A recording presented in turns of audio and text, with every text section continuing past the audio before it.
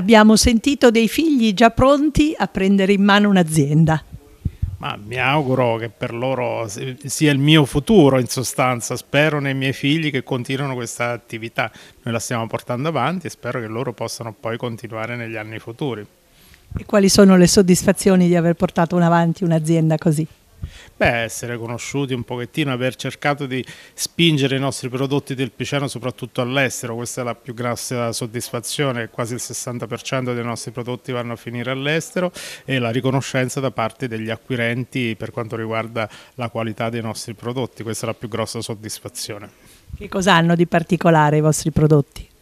Beh, la, la, differenza rispetto un pochettino agli altri sono i profumi, noi abbiamo una varietà, la tenera ascolana che ha delle caratteristiche un pochettino un po' diverse rispetto a tutte le altre varietà, che è questo profumo, questo fruttato intenso con sentori di pomodoro che è molto apprezzato, un po' particolare ed è per questo un pochettino siamo diventati un po' così famosi, diciamo famosi, un po' grossa la parola, però insomma eh, conosciuti proprio per questa tipologia di, di oliva in sostanza.